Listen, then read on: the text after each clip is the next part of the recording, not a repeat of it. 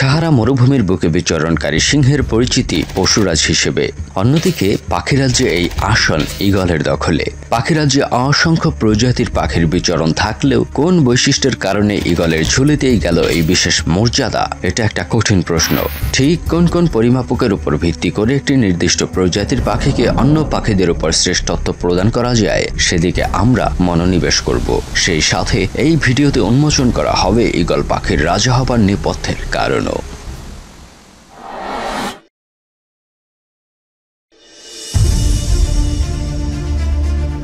অনেকে শ্রেষ্ঠত্বের পরিমাপক হিসেবে বুদ্ধিমত্তাকে এগিয়ে রাখতে চাইবেন। যে কোনো প্রাণীর উন্নত বুদ্ধিমত্তা নিঃসন্দেহে সেই প্রাণীকে শ্রেষ্ঠত্ব বিচারের দৌড়ে অনেকখানি এগিয়ে রাখবে। কিন্তু এই ক্ষেত্রে ইগল তো পাখি জগতের সবচেয়ে বুদ্ধিমান পাখি নয়। পাখিদের মধ্যে কাক, কাকাতুয়া, তোতা এসব প্রজাতির পাখি বুদ্ধিমত্তার বিবেচনায় প্রথম সারির পাখি। এমনকি প্রাণী জগতের অন্যতম বুদ্ধিমান প্রাণীদের নামের তালিকায় রয়েছে এসব পাখির নাম। যদি বুদ্ধিমত্তাকে শ্রেষ্ঠত্বের পরিমাপক হিসেবে বিবেচনা করা হতো, তাহলে নিঃসন্দেহে এই পাখিগুলো শ্রেষ্ঠত্বের দৌড়ে ইগলের চেয়ে অনেক এগিয়ে থাকতো। উপরন্তু, মস্তিষ্কের আকার বিবেচনায় পাখিদের মধ্যে সর্ববৃহৎ মস্তিষ্কের অধিকারী তোতা পরিবারভুক্ত ম্যাকাও। ইগল নয়। কেবল ইনসাপের গল্পে নয়, বরং আক্ষরিক অর্থেই কাক খুব বুদ্ধিমান ও কৌশলী পাখি। কিন্তু ইগল ইগল কিন্তু কাকের ধারে কাছেও নয়। শ্রেষ্ঠত্বের দৌড়ে আরেকটি গুরুত্বপূর্ণ পরিমাপক হতে পারে দৈহিক আকার।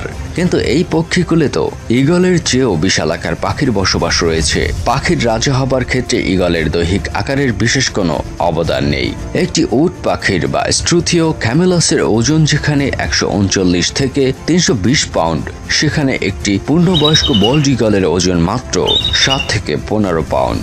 অর্থাৎ একটি উট পাখি ওজনে একটি ইগলের তুলনায় দ্বিগুণ বা তিন গুণ নয়, প্রায় বিশ গুণ বেশি। তাই পাখির রাজা হওয়ার পেছনে ইগলের দৈহিক আকার কিংবা ওজন কোনটি ইগলের শ্রেষ্ঠত্বের পক্ষে মক্ষম যুক্তি দিতে পারে না। খাদ্য সংগ্রহ থেকে প্রয়োজনন প্রতিকূল পরিবেশে টিকে থাকা থেকে শিকারীর হাত থেকে নিস্তার লাভ, বিভিন্ন কাজে পাখির উড্ডয়ন ক্ষমতা অত্যন্ত প্রয়োজনীয়। পাখিদের কৌশলী উড্ডয়ন ক্ষমতা অবশ্যই পক্ষীকুলের অন্য পাখিদের উপর প্রভাব বিস্তারের জন্য অন্যতম হাতিয়ার। একটি পূর্ণবয়স্ক সুস্থ ইগল উড়ে দশ হাজার ফুট বা পাঁচ হাজার আটশো বিশ মাইল ওপরে উঠতে পারে। ইগল কি সর্বোচ্চ উচ্চতায় উড়ন্ত পাখি? না, পাখিদের মধ্যে এমনও পাখি রয়েছে যেগুলো উচ্চতায় ইগলকে ছাড়িয়ে গেছে। Common crane bar headed goose, super swan, সারস রুপেল শকুন, আলপেন চফ, বিয়ার্ডেড ভালচার, রাডি শেলডাক এরা উড়ে ইগলের চেয়ে বেশি উচ্চতায় পৌঁছাতে পারে।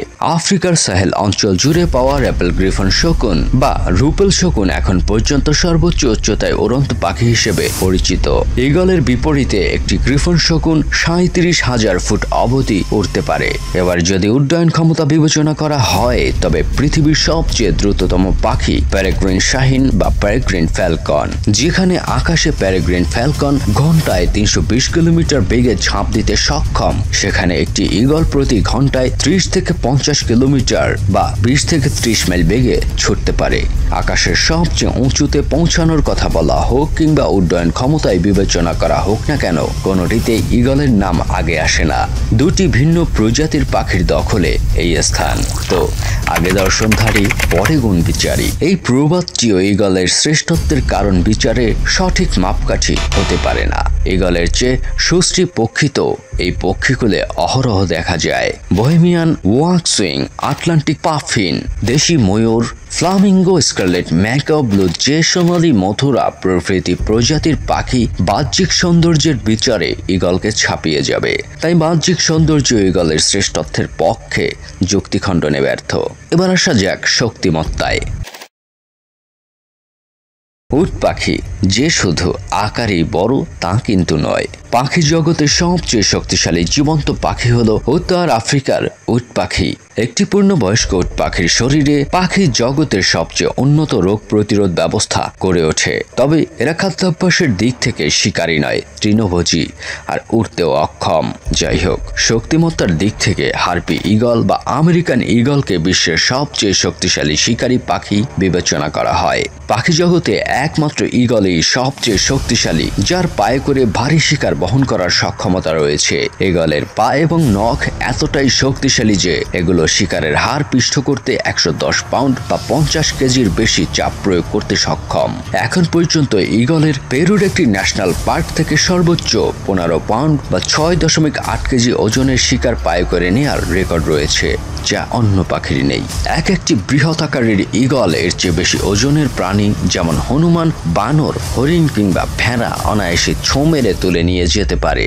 যেখানে একটি মার্শাল প্রজাতির ইগলের গড় ওজন হয় মাত্র দশ থেকে বারো পাউন্ড, সেখানে এই প্রজাতির ইগলের ঝুলিতে সর্বোচ্চ বিরাশি পাউন্ড বা সাঁত্রিশ কেজি ওজনের একটি হরিণ শিকারের রেকর্ড রয়েছে।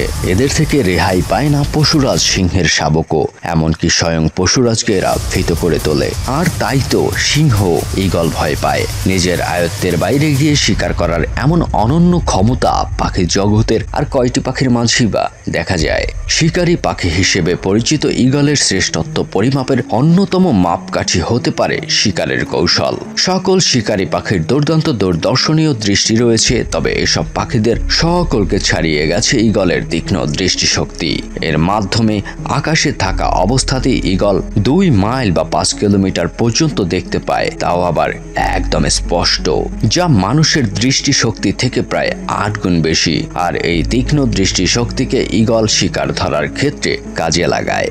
ইগল যখন শিকারের খুঁজে বের হয়, তখন এর দৃষ্টির কেন্দ্র জুড়ে থাকে সমস্ত জীবন্ত ও নতুন কোনো শিকার। প্রতিদিন কয়েক মাইল দূরের জীবন্ত শিকার বধের মনোভাব পাখির জগতে শুধু ইগলেরই আছে। প্রতিদিনকার খাদ্যের চাহিদা মেটাতে এরা কখনোই মৃত প্রাণী ভক্ষণ করে না। এর মাঝে বেশ রাজকীয় একটা ভাব রয়েছে। এবার শিকারের লক্ষ্যবস্তু নির্ধারণের পর যত বাধাই আসুক না কেন ইগল এর লক্ষ্য থেকে দৃষ্টি সরায় না। শিকার নাগালের মধ্যে আসার সাথে সাথে এরা এদের তীক্ষ্ণ নখগুলো দিয়ে নিমিষের মধ্যে শিকারকে ছিন্ন ভিন্ন করে দেয়। শিকারের ক্ষেত্রে ইগলের এমন অনন্য মনা বৈশিষ্ট্যের উপস্থিতি পাখি সহ সমগ্র প্রাণী জগতে খুবই বিরল।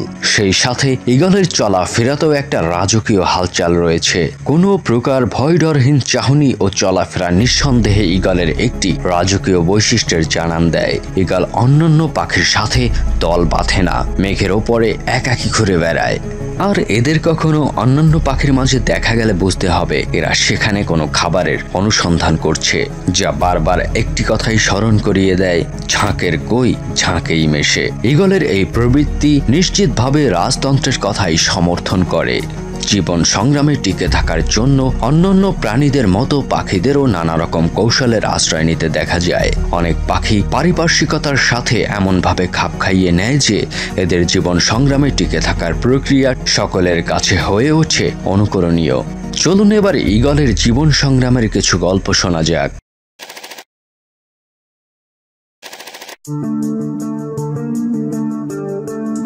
আকাশের উচ্চতাপ্রেমী ইগলের জন্ম হয় কোনো নির্জন গাছের সর্বোচ্চ উচ্চতায় অথবা কোনো দূর পর্বতে। মা ইগল যখন ছানাদের জন্য বাসা তৈরি করে, তখন প্রথমেই এতে কিছু কাটা বিছিয়ে দেয়। এই কাঁটার উপরে কিছু নরম, আরামদায়ক খড়।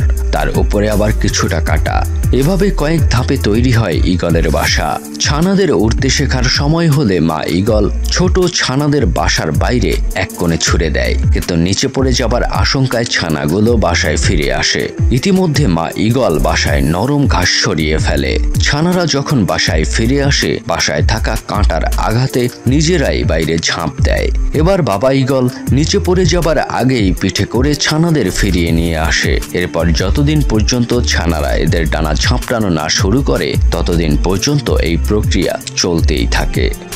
ভবিষ্যতের অজানা শঙ্কার কথা চিন্তা করে যে ছানার জন্য মায়ের এমন বিশেষ প্রশিক্ষণ তা মোটেই বৃথা যায় না। একবার ডানা ঝাঁপটানো শিখে গেলে ইগলকে আর পিছে ফিরে তাকাতে হয় না। মায়ের কোলে থাকা অবস্থাতে জীবনের প্রথম ধাপেই ইগল জীবন সংগ্রামের কঠিন শিক্ষা লাভ করে, তবে এদের জীবন সংগ্রাম এখানেই থেমে যায় না। জীবনের একটা দীর্ঘ সময় পরে ইগলের শরীরে থাকা কেরাটিনের কারণে নখ ও ঠোঁট অতিরিক্ত বৃদ্ধি পায় এবং পাখার পালকগুলো দুর্বল হয়ে পড়ে। এমন অবস্থাতে ইগল আর আগের মতো শিকার ধরতে পারে না। না খেয়ে মৃত্যুকে স্বীকার করা কিংবা জীবন সংগ্রামে অংশগ্রহণ করা দুটি পথ খোলা থাকে ঈগলের সামনে। ঈগল দ্বিতীয় পথটি বেছে নেয়। ছোটবেলায় মায়ের কাছ থেকে পাওয়া জীবন সংগ্রামে অংশগ্রহণের সেই কঠিন শিক্ষা ঈগল এবার কাজে লাগায়। ঈগল আশ্রয় নেয় কোনো এক নির্জন স্থানে, যেখানে রয়েছে পাথরের উপস্থিতি। পাথরের সাথে ক্রমাগতভাবে আঘাতের কারণে ঠোঁট এবং পায়ের নখ একসময় পুরোপুরি ভেঙে যায়। এরপর পঁয়তাল্লিশ দিনের অপেক্ষা। ঠোঁট এবং নখ বড় হওয়ার পর ডানার প্রতিটি পালক ঠোঁট দিয়ে টেনে টেনে ছিঁড়ে ফেলে। রক্তাক্ত শরীরে আরও পঁয়তাল্লিশ দিনের অপেক্ষা। এর মধ্যে ঈগলের শরীরে নতুন পালক গজায়। কিছুদিন পূর্বের মৃতপ্রায় ঈগল পুনরায় বজ্র গতিতে উড়ে বেড়ায়। শুরু হয় ঈগলের এক নতুন জীবন। আকাশপ্রেমী ঈগল আবার আকাশের রাজা হিসেবে ফিরে আসে। এমন সাহসী প্রত্যাবর্তন পক্ষীকুলে আর দ্বিতীয়টি দেখা যায় না। আর ঈগলের এই সাহসের কারণে মার্কিন যুক্তরাষ্ট্রের জাতীয় প্রতীকে শক্তি, সাহস এবং স্বাধীনতার প্রতীকী হিসেবে রয়েছে ঈগলের উপস্থিতি। ঈগল এমন অনন্য বৈশিষ্ট্যের কারণে প্রাচীনকাল থেকে বহু পরাক্রমশালী রাজ্যের প্রতীক হিসেবে শোভা পেয়ে আসছে ঈগলের প্রতিচ্ছবি। প্রাচীন মিশরের টলেমিদের অন্যতম প্রতীক রোমান সেনাবাহিনীর এবং নেপোলিয়নের সৈন্যদের পদমর্যাদার নির্দেশক হিসেবেও ঈগলের উপস্থিতি ছিল। এছাড়াও নির্ভীকতা, সাহসিকতা ও গর্বের প্রতীক হিসেবে রণাঙ্গনে বারবার দেখা গেছে ঈগলের প্রতিচ্ছবি। এক দুঃসাহসী প্রত্যাবর্তন সহ পাখিসুলভ প্রতিটি বিষয়ের সমতা এবং কিছু অনন্য বৈশিষ্ট্য ঈগলকে সবচেয়ে শক্তিশালী, দুর্ধর্ষ ও অপ্রতিরোধ পাখিতে পরিণত করেছে। সেজন্যই হয়তো সুপ্রাচীন কাল থেকেই লোকের মুখে পাখির রাজা হিসেবে চলে এসেছে ঈগলের নাম।